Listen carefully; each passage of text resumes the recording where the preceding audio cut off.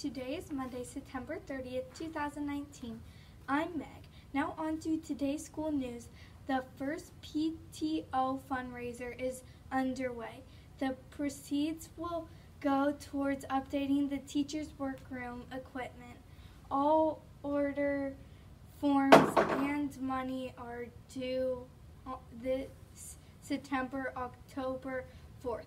Safety reminders. Please walk safely throughout the campus.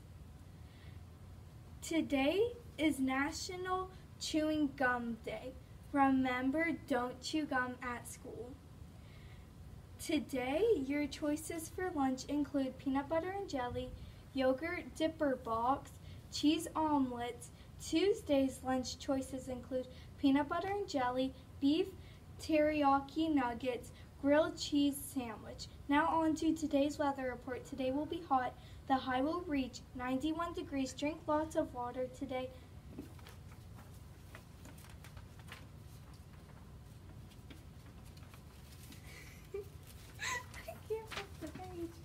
Um, okay.